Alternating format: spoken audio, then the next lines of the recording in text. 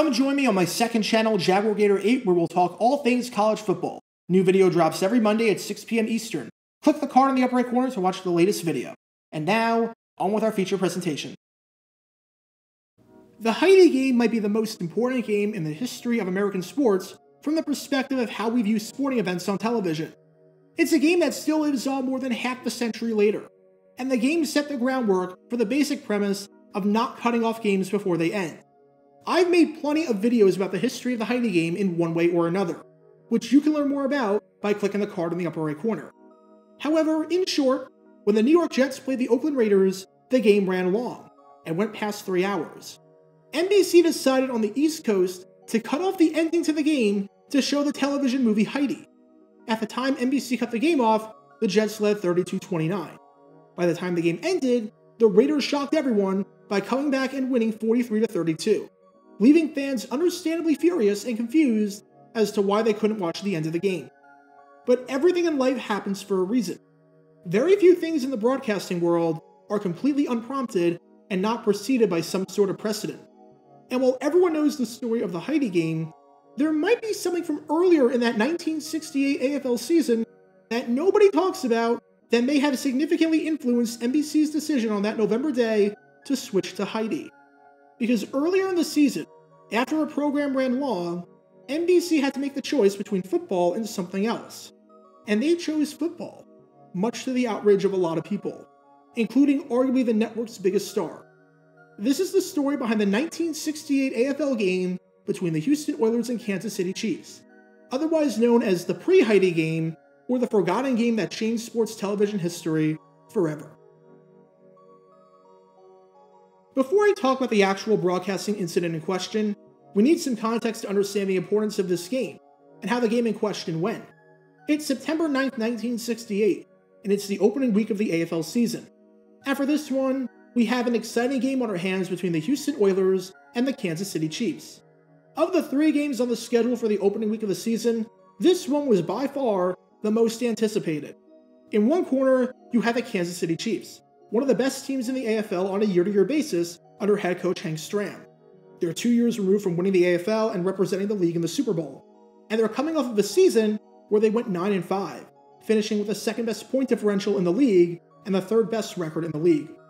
And in the other corner, you have the Houston Oilers, the team that had the second best record in the league and won the AFL East with a 9 4 1 record. You can learn more about the 1967 Oilers and how they won the division in somewhat controversial fashion by clicking the card in the upper right corner. Not only did you have two of the three best teams in the AFL from the previous season squaring off against each other, but you knew it was going to be a good game. The Oilers and Chiefs played each other twice in 1967. Want to know what the point differential was across those two games? Zero. In game one, the Chiefs won by five, defeating the Oilers 25 to 20. And in game two, the Oilers won by five, defeating the Chiefs 24 to 19 the schedule makers picked an incredible game on paper to open up the season. And how big was this game? Well, this was going to be a nationally televised game on Monday night. This was Monday Night Football before Monday Night Football became a thing, as this was a one off game that was the only Monday night game of the entire season. This was actually a historic game, because this was the first time in the nine year history of the league that they were ever playing a game on a Monday night. The league only played weekend games, with the occasional Friday game sprinkled in, and the obvious exception of playing games on Thanksgiving. But they had never played a Monday night game before until tonight. This meant that this game would not be regionally televised. It was going to be nationally televised for the whole country to watch. The NFL season had not started yet, so this was the only show in town. If you were a football fan on this day, you were watching this game and sitting in front of your television set to watch two of the best teams in the AFL square off under the lights of the eighth wonder of the world at the Houston Astrodome. Sure enough, we got a fantastic game that, oddly enough, was once again decided by five points. Find someone who loves you as much as the Chiefs and Oilers love playing games against each other, decided by five points. The Chiefs actually got off to a hot start in this one, and after falling behind 7 0, scored 26 consecutive points to lead it 26 7 in the fourth quarter. However, two touchdown passes by Pete Beathard to Mac Haik, the team's second round pick playing his first game made the score 26 to 21. Now you have to wonder why the Oilers didn't go for two to potentially make it 26 15 and then 26 23. since the two point conversion existed in the AFL. Bit of a questionable decision on the part of head coach Wally Lemm, but regardless, the Chiefs won at 26 21, fending off a late charge by the Oilers and quarterback Pete Beathard, who finished the game with 413 yards passing. And NBC was thrilled that this game was close, because they had the perfect lineup for that Monday night, where they were practically guaranteed to win in the ratings. Remember that the TV season hadn't started by this point, so you didn't have to worry about CBS or ABC shows taking away from the ratings. Not that any network was concerned with what ABC was doing back in 1968. CBS was airing reruns, and ABC was airing a tourism guide to San Francisco. NBC was the only one airing any live programming or programming of interest. At 9 o'clock Eastern, the Chiefs Oilers game would take place. It would be followed up immediately after at 11:30 Eastern with an all-new episode of The Tonight Show starring Johnny Carson. Seems like a pretty great night for television on NBC. Johnny Carson was one of the biggest names in entertainment at this point, as The Tonight Show was a certified winner. It was estimated that in the 1960s, over 40% of all the people watching late night television were watching NBC. If you were watching late night television, you weren't watching any other network, and you weren't watching ABC, as Joey Bishop's show was getting half the ratings that Carson was. You were watching NBC and watching Carson bring laughs to the audience and bring on some of the biggest names in entertainment. In the last month alone prior to this September day, Carson had brought on the Bee Gees and the Beach Boys as musical acts, just to highlight how big this show was. However, while everything seemed to be going great for NBC and Carson, as Carson was near the top of the television and the late night world, Carson was internally angry with NBC over the network's treatment of the show. In Carson's eyes, NBC was not treating the show and its time slot seriously, especially when the movie schedule for NBC during the 1968 69 television season was released. And Carson expressed concern that a lot of the movies would run into the start time of The Tonight Show.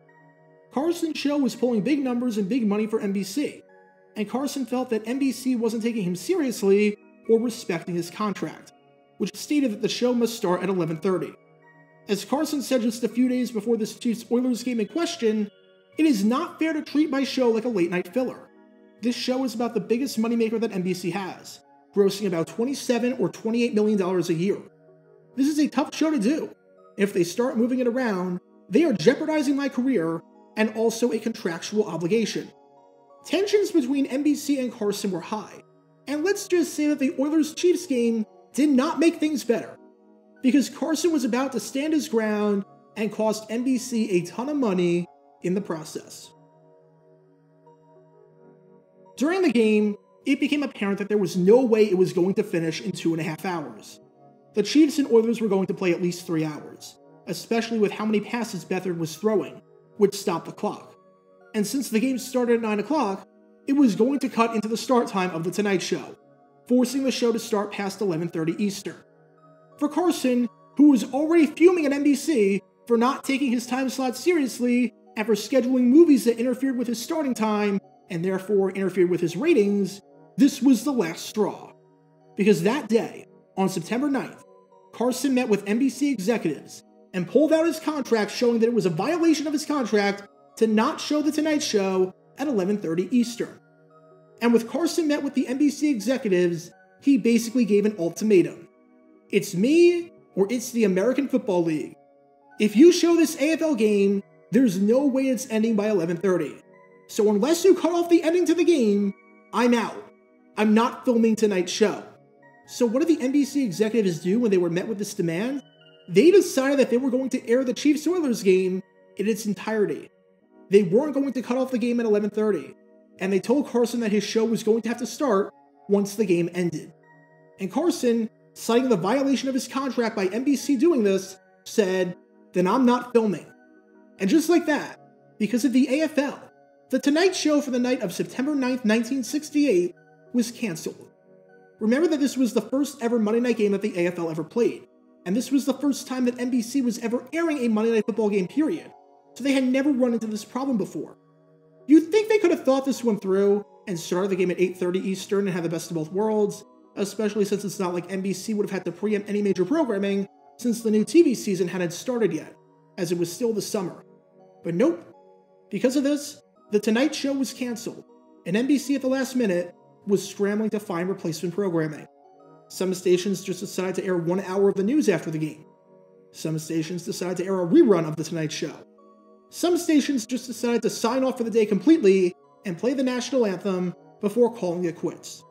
But NBC's biggest star had stood his ground and left NBC in a pickle when it came to the dealings of their biggest moneymaker. And this game had huge implications on the future of the American Football League on television. The AFL did not play another Monday Night Football game ever again by choice, as the only other game to ever take place on a Monday night was a contest on October 20th, 1969, between the New York Jets and the Houston Oilers. That game was not by design, as that game was originally scheduled for a Sunday, but got moved to a Monday once the New York Mets made the World Series, as the Mets and Jets share the same stadium and they needed to avoid a conflict. However, that game was not nationally televised, so The Tonight Show aired as normal. NBC learned an important lesson on that day. Do not mess with your biggest moneymaker, and do not mess with Johnny Carson, because there will be outrage if you take The Tonight Show off the air. And now, we fast forward two months after that Chiefs Oilers game to where we began, and to the game that changed sports broadcasting on television forever the Heidi game. Obviously, in hindsight, the decision to air Heidi, a taped event, over the ending to a live sporting event seems ridiculous. But like I said at the top of this video, everything in life, especially in broadcasting, happens for a reason. And even though I completely disagree with it, as just about everyone did, when you have the context of that Chiefs Oilers game from two months before, NBC's decision made at least some sense. NBC was worried about what would happen if they did not show Heidi on time.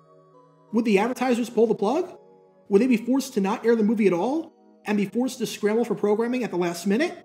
It's not like there wasn't precedent for this. And you can bet your bottom dollar that NBC wanted to avoid a situation like what happened with Johnny Carson just two months before from ever happening again. The Heidi game was a truly monumental game, and without the Heidi game, sports broadcasting would never be the same. It was a case of NBC having to choose between entertainment for the mass population and football, and they chose entertainment. But maybe the reason for that isn't because of incompetence, or because of people and television executives who had no idea what they were doing. Maybe it was because earlier in the year, they had to choose between entertainment for the mass population and football, and they chose football, and it angered a ton of people including their biggest star, in the process. Without Johnny Carson and the aftermath from that, who knows if the Heidi game even happens in the first place?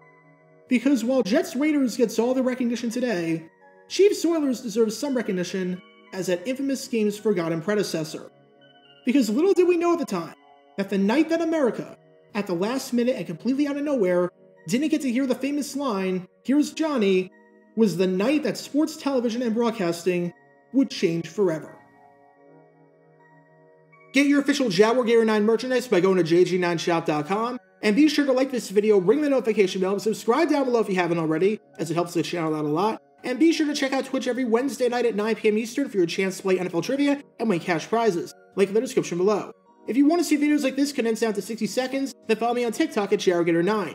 To see college football videos, subscribe to JaguarGator8.